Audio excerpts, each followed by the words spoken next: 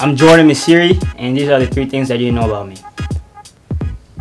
One, I have four brothers and two sisters. Number two, I like to listen to music in my spare time. Number three, I'm originally from the Democratic Republic of Congo. I'm Jordan Misiri, and those are the three things that you know about me.